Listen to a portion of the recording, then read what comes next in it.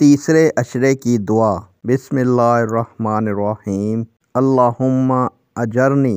मिनन्नार तर्जमा ए अल्लाह मुझे आग के अजाब से बचा ले सदक सदाकल्लाज़ीम